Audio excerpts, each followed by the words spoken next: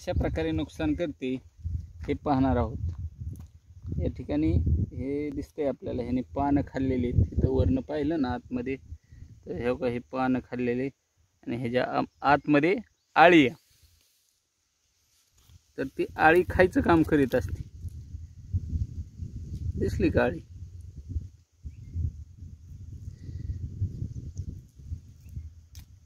हे इथं आळी आहे ही खाती. हे ही आळी. ही. लष्करी आळी. ही पानाचं आतनं पूर्णपणे खात खात राहते. ही काय इथं खाल्ले हागलेलं दिसतंय आपल्याला.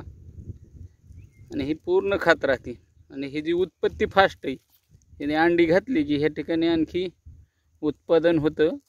आणि जास्त प्रमाणात फास्ट उत्पादन असल्यामुळं पिकाचं होणारं नुकसान हे साधारणतः जर लवकर नियंत्रण नाही केलं तर आपल्याला चाळीस ते पन्नास टक्के पिकाचं नुकसान हे आळीकडनं केलेलं पाहायला मिळतं.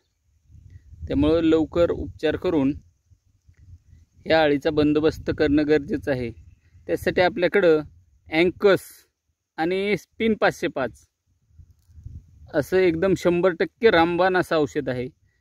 अँकसचा आणि स्पिन पाचशे पाचचा जर तुम्ही स्प्रे मारला तर मकाच्या आयुष्यात एकदा स्प्रे मारला तरी नंतर ह्या आळीचा प्रादुर्भाव तुम्हाला झालेला दिसत नाही.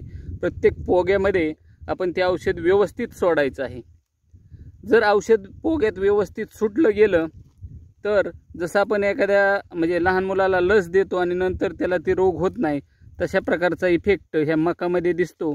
आणि नंतर मका हे पीक तुम्हाला लष्करी आळीपासून मुक्त असं उत्पादन भेटू शकतं. त्यामुळं एक वेळेस अँकस आणि पिन पाचशे पाचचा व्यवस्थित डोस या लष्करी आळीसाठी मकाला देणं हे गरजेचं आहे. ही आतपर्यंत खात खात गेलेली आहे. ह्या ठिकाणी आपल्याला पाहायला भेटते. ही इथपर्यंत असं खात खात गेलेली असती. जरी पानं बाहेर आले तरी ती खराबच पानं बाहेर येतात लहान पानं खाल्लेलं असल्यामुळं ते पान जसं मोठं होईल तसं त्याच्यावरती ती जी डोबरा आहे ही पडलेलं जे छिद्र आहे ती मोठं झालेलं दिसतं. त्यामुळं नुकसान लहानपणी जर लागली आळी तर जास्त झालेलं आपल्याला पाहायला मिळतं.